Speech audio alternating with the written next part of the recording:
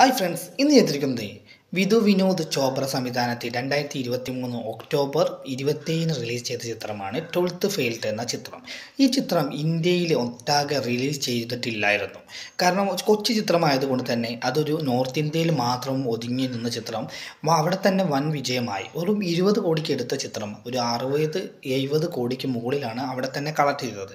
അതിനുശേഷം രണ്ടായിരത്തി ഇരുപത്തിനാല് ജനുവരിയിൽ അത് ഒ ടി ടിയിൽ റിലീസ് ചെയ്തു. അതിലൂടെ ചിത്രം വളരെ വലിയ രീതിയിൽ പ്രൊമോട്ടായി നോർത്ത് ഇന്ത്യയും സൗത്ത് ഇന്ത്യയും ഇന്ത്യ ഒട്ടാകെ വമ്പൻ അതൊരു പബ്ലിസിറ്റി കിട്ടിയ ചിത്രമായിരുന്നു. ചിത്രം എന്ന് പറയുന്ന സ്റ്റോറി എന്ന് പറഞ്ഞാൽ പ്ലസ് ടുവിൽ ഫെയിൽഡായ ഒരു വ്യക്തി ഐ പി എസ് ഓഫീസർ ആവുന്നതാണ് സ്റ്റോറി കാണിച്ചു തരുന്നത്. പക്ഷേ സ്റ്റോറി പറയുമ്പോൾ നമ്മൾ വിചാരിക്കും ഒരു മോട്ടിവേഷൻ സ്റ്റോറിയാണെന്നൊക്കെ പക്ഷേ മോട്ടിവേഷൻ മാത്രമല്ല ഇൻസ്പിറേഷനാണ് കാരണം നമ്മൾ കണ്ടു തുടങ്ങിക്കഴിഞ്ഞാൽ ഒരു ഹിന്ദി മനസ്സിലാകാത്ത ഒരു വ്യക്തി കണ്ടാൽ പോലും നമ്മൾ അതിൽ ലയിച്ചു പോയി നമ്മളത് ഫുള്ള് ഇരുന്ന് കാണുന്ന ഒരു ചിത്രമാണ് ട്വൽത്ത് ഫെയിൽ എന്നത് ഇതിൽ അഭിനയിച്ച ഓരോ വ്യക്തികളും അതിഗംഭീരമായിട്ട് ചെയ്തിട്ടുണ്ട്.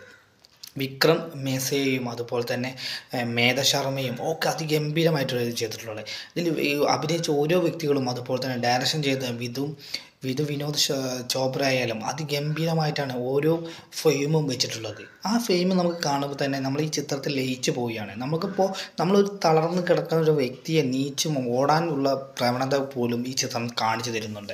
കാരണം അത്രയേറെ അനുഭവിച്ചതിന് ശേഷമാണ് ഐ പി എസ് ഓഫീസർ ആവുന്നത് ഇതിൽ കാണിച്ചു തരുന്നത്.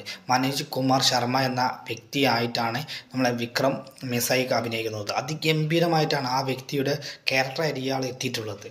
അത് തന്നെ നമുക്ക് അത്രയേറെ നമുക്ക് ലയിച്ചു പോകും ആ വ്യക്തിയായിട്ട് ഉള്ള ക്യാരക്ടർ ചെയ്യുന്നത്. കാരണം ഇത് എത്താൻ വേണ്ടി ഐ പി എസ് ഓഫീസർ ആകാൻ വേണ്ടി അനുഭവിക്കുന്ന ഓരോ കാര്യങ്ങളും ഇതിൽ കാണിച്ചു തരുന്നുണ്ട്. ആ കാര്യങ്ങൾ ഓരോന്നും കാണിച്ചു തരുമ്പോൾ നമുക്കതിൽ നമ്മൾ തന്നെ ആയി മാറുകയാണ്. നമ്മളെ ലൈഫിലും നമ്മൾ അനുഭവിക്കുന്ന പല പ്രശ്നങ്ങളുണ്ടായിരിക്കും. അതൊക്കെ നമ്മളിതിൽ നമുക്ക് വിചാരിച്ചു പോകും അങ്ങനെയൊക്കെ ചെയ്യാൻ പറ്റുമെന്ന് നമ്മളിപ്പോൾ ഒരു തളർന്നിരിക്കുന്ന ഒരു വ്യക്തി തീർച്ചയായും ഈ പടം കണ്ടു കഴിഞ്ഞാൽ ഓടാനുള്ള ഒരു പ്രവണത നമുക്ക് കിട്ടിപ്പോകും. അങ്ങനത്തെ ഒരു മേക്കിംഗ് ആണ് ചിത്രം ചെയ്തു വെച്ചിട്ടുള്ളത്. ചിത്രം നിങ്ങളത് എന്തായാലും തീർച്ചയായും കണ്ടിരിക്കുന്ന ഒരു ചിത്രമാണ് ട്വൽത്ത് ഫെയിൽ എന്ന് പറഞ്ഞ ചിത്രം. ഹിന്ദി ചിത്രമാണ്. പക്ഷേ നമ്മളെല്ലാവരും വിചാരിക്കും ഹിന്ദി ചിത്രമല്ലേ നമുക്ക് എങ്ങനെ മനസ്സിലാവുമെന്ന്. പക്ഷേ നിങ്ങൾ കണ്ടു നോക്കൂ. കുറച്ച് നേരം നിങ്ങൾ കണ്ടു കഴിഞ്ഞാൽ ഓട്ടോമാറ്റിക്കായി നിങ്ങൾ അതിൽ ലയിച്ചു പോകും.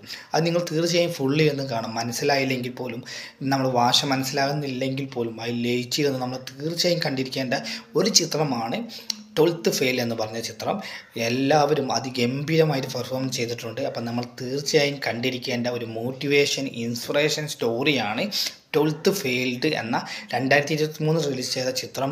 ഇന്ന് ഒ ടി ടിയിൽ വന്ന് ഗംഭീരമായിട്ടാണ് ചിത്രം ഇപ്പോൾ എല്ലാവരിലേക്കും എത്തിക്കൊണ്ടിരിക്കുന്നത്. അപ്പോൾ നിങ്ങൾ തീർച്ചയായും കാണുക.